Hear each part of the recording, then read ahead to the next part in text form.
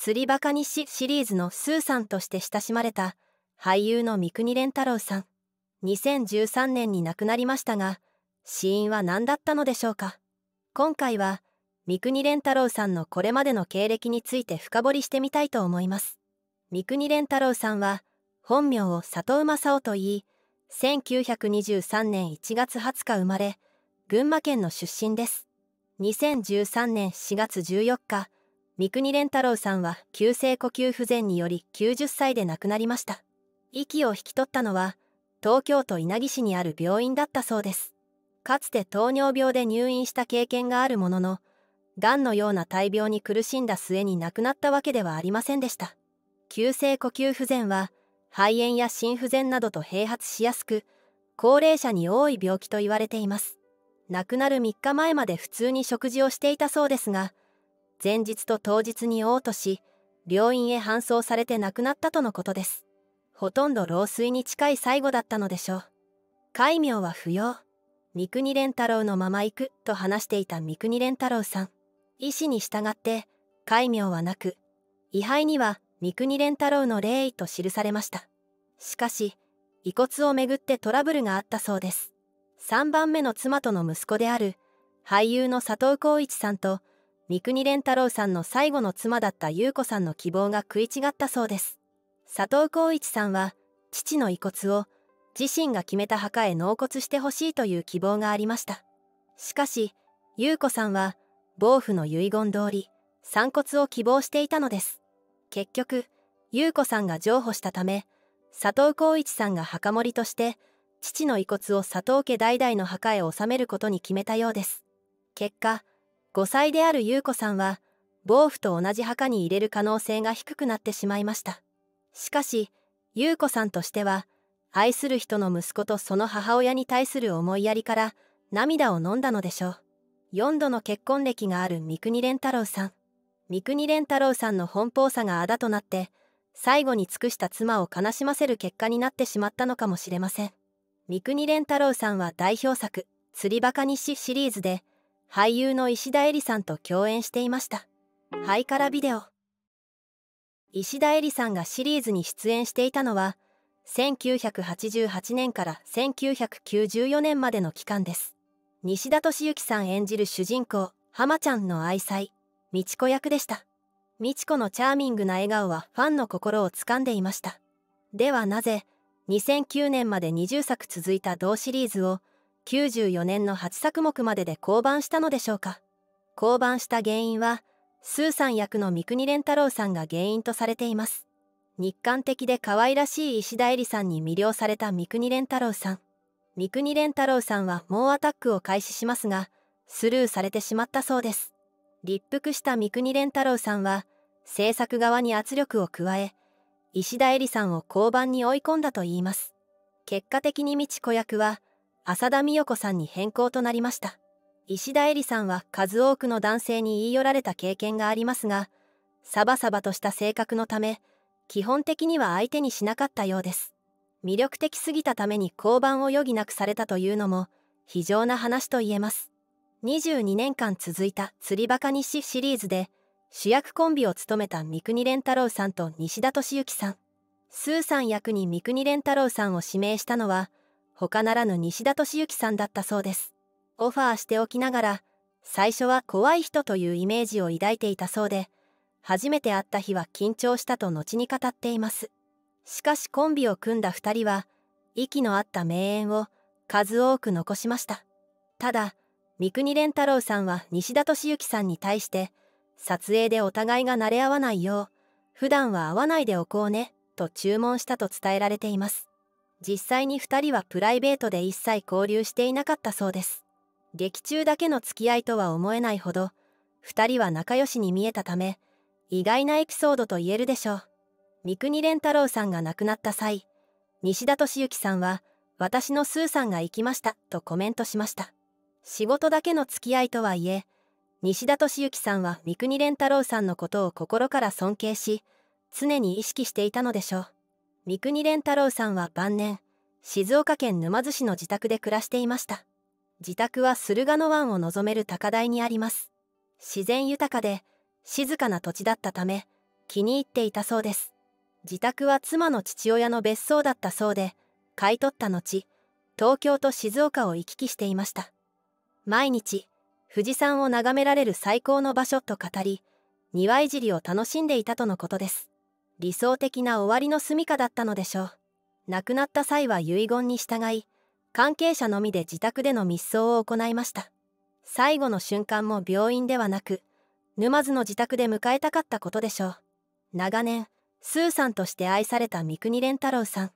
女性トラブルさえも今ではご愛嬌となっているのかもしれません。ここからは三國連太郎の妻たちと結婚歴や噂になった女性について見ていきましょう。飢餓海峡や利休など数々の名作映画で強烈な印象を残した三國連太郎さん。名優というイメージは強いものの私生活について詳しい人は多くないかもしれません。まずは妻として名前の挙がる林清志さん石原敏子さん太一喜和子さんについて見ていきましょう。三国ハイカラビデオ。二連太郎さんは生涯で4度結婚しました。しかし最初の結婚はなんと偽装結婚だったそうです。1943年から中国の前線で兵役についていた三國連太郎さん。敗戦すると収容所に入り自作の化粧品販売で日銭を稼いでいたそうです。復員の際には独身者より最大者の方が優先的に引き上げ船へ乗れることを知ります。そこで三國連太郎さんは本名の佐藤と同じ姓の女性を探し1946年4月に偽装結婚しました。同年6月目論見通り引き上げに成功したのです。引き上げ後は宮崎県宮崎市にあった妻の実家で暮らしました。宮崎交通へ入社し2年間バスの整備士として働きました。しかし1948年妊娠中の妻と離婚し鳥取県倉吉に転居してしまいます。単調な暮らしに飽きてしまったのか鳥取県の農業組合に入り農村工業科を新設して農業に励みます。そして現地の資産家の娘と再婚しました。再婚相手は林清志さんです。資産家の娘でしたがどこの馬の骨ともしれない三國連太郎さんとの結婚は家族に大反対されたようです。そして三國連太郎さんは妻を大切にするどころか闇商売で人儲けしようと単身上京してしまいます。事業は失敗しますがその後東銀座でスカウトされ松竹に入社しました。その後1951年映画「全魔」でスクリーンデビューするのです。すっかり家庭を放棄していたためかデビュー翌年には林清志さんと離婚しました。林清志さんは家庭を捨てて映画スターになった夫の姿を複雑な気持ちで眺めていたかもしれません。映画スターとなり多くの女優との関係を噂された三國連太郎さん。しかし3度目の結婚相手は女優ではなく神楽坂の一流芸者でした。石原敏子さんという女性で映画「戦国ブライン」の撮影中に出会ったそうです。1957年に再再婚し1960年に生まれた男児が俳優の佐藤浩一さんでした。今や父の知名度を超えつつあるベテラン俳優の佐藤浩一さんですが父とは長年不仲だったと言われています。というのも1962年再び三國連太郎さんは家族を捨て別の女性のもとへ去ってしまったのです。妻と息子のもとを去り交際し始めた相手は女優の太一喜和子さんでした。まだ19歳の新人女優だった太一喜和子さんの実家で同棲を始めました。ハイカラビデオ。結婚を前提に付き合っていたそうですがたった3ヶ月で破局します。三國連太郎さんが疲れたと書いた置け手紙を残して去っていったそうです。後に太一喜和子さんと対談で再会した際逃げた理由について臆病だからのめり込めなかったと発言しています。やや都合のいい回答ですが要するに若くてエネルギッシュな太一喜和子さんの勢いに気遅れしてしまったのでしょう。家を出てから10年後の1972年石原敏子さんと離婚しました。よりを戻すことも考えていたのかもしれませんが結果的には破局に至りました。ここまでは身勝手な振る舞いが目立ち女性遍歴の多かった三國連太郎さん。どんな女性と結ばれても逃げ出してしまう癖がついている以上順調な生活を送れるはずがありません。しかし三國連太郎さんは前述の通り4度結婚しています。4人目の妻は優子さんという女性でした。糖尿病で入院していた時献身的に看病してくれた女性だそうです。三國連太郎さんは病気の苦しみを味わいながらこのまま孤独に死ぬのは嫌だと考えたのでしょう。1976年に結ばれるとかつての女たらしと同一人物とは思えないほど妻を大切にしました。優子さんと過ごす生活を何より大切し優子のために長く生きようと語ったほどです。明るく優しい彼女の人柄に触れ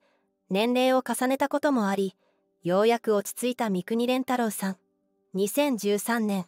急性呼吸不全により90歳で亡くなるまで優子さんと過ごしました。若い頃奔放に生きた一人の老人を最後の妻は温かく見守っていたのでしょう。先ほども触れたように三國連太郎さんと佐藤浩一さんには長年確執がありました。父と同じ世界に飛び込むことを息子が決意した時は親子の縁を切ろうと突き放したといいます。親子共演となった恋新本の制作会見ではお互いを他人行儀に名字で呼び役者間をめぐって意見が衝突するなど溝の深さが浮き彫りになったそうです。メディアも2人の確執をたびたび報じてきました。そんな親子関係が徐々に雪解けの兆しを見せたのは2000年代に入った頃のことです。きっかけは佐藤浩一さんと妻綾子さんとの間に生まれた寛一郎さんだったようです。寛一郎さんの誕生でそれまでのかたくなな態度が一変したという三國連太郎さん。孫の誕生日や運動会に駆けつけるようになり親子間の距離も縮まっていつしか自然に和解していたといいます。よく子はかすがいと言いますがこの場合は孫が親子のかすがいになったということです。いかがだったでしょうか？今回は三國連太郎さんのこれまでの経歴について深掘りしてみました。偉大な俳優であると同時にエピソードを見ると女たらしのくせ者だった三國連太郎さん。三國連太郎さんの生涯はそばから見ると波乱万丈で面白みがあるため他にも知られざるエピソードを探ってみたくなります。しかし関わった人たちはおおむね幸せだったかと言われると疑問が残ります許容できる昔の芸能界の風潮なのでしょうスキャンダルを起こしても俳優としての起用については衰えることがありませんでしたおそらく今後このような破天荒な俳優は現れないでしょう皆さんの意見をぜひコメントで教えてください。ご視聴ありがとうございました。この動画が気に入っていただけましたら、チャンネル登録、高評価をお願いします。